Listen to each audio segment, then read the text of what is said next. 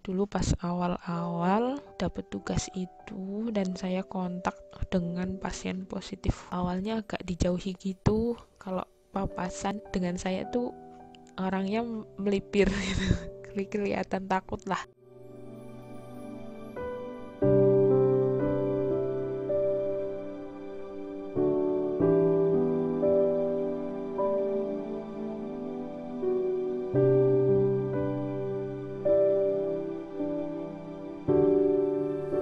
Kalau yang dikhawatirkan dari pandemi ini justru kekhawatiran orang lain, terutama keluarga terhadap saya pribadi, uh, karena memang nggak pingin orang lain khawatir. Dulu pas awal-awal dapet tugas sempet nggak berani upload foto pakai APD lengkap karena memang takut teman-teman khawatir. Terus dulu pas awal dapet tugas penanganan COVID ini kan uh, jaga posko ya, pamit sama ibu kebetulan ibu di situ terus terang kalau uh, beliau menyampaikan kalau beliau khawatir. Nah, itu justru yang membuat saya benteng pertahanan saya agak runtuh.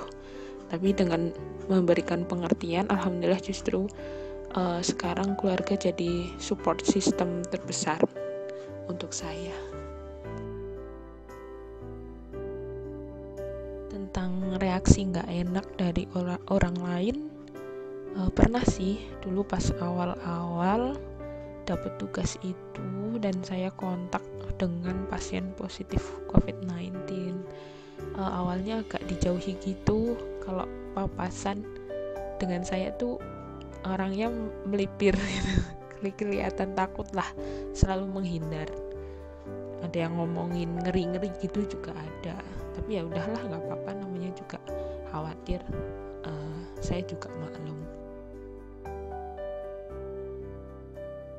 Kalau rasa ingin mundur atau menyerah kayaknya sama dengan teman-teman tenaga kesehatan yang lain ya. Alhamdulillah nggak ada keinginan untuk mundur. Uh, selain sudah menjadi kewajiban pekerjaan saya insya Allah saya juga niatkan sebagai ibadah.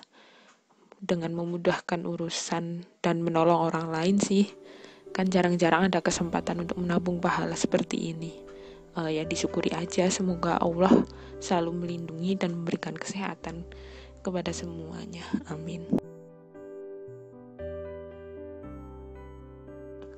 Di luar uh, ayo mari kita bahu membahu melawan COVID-19 karena pandemi ini benar-benar membutuh, membutuhkan kekompakan kita semua.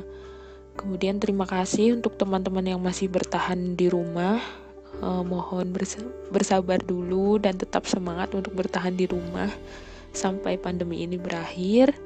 Kemudian untuk teman-teman yang terpaksa harus keluar, tetap jaga keselamatan diri, jangan lupa pakai masker, uh, kantongi hand sanitizer, rajin-rajin cuci tangan.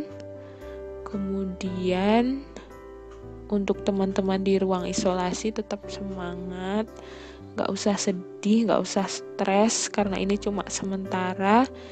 Uh, mohon bersabar dulu sampai benar-benar dinyatakan sembuh karena ini demi kebaikan kita semua. Uh, kemudian untuk para nakes tetap semangat ya. Uh, bersama kesulitan pasti ada kemudahan. Kita semua pasti bisa melewati pandemi ini. Semangat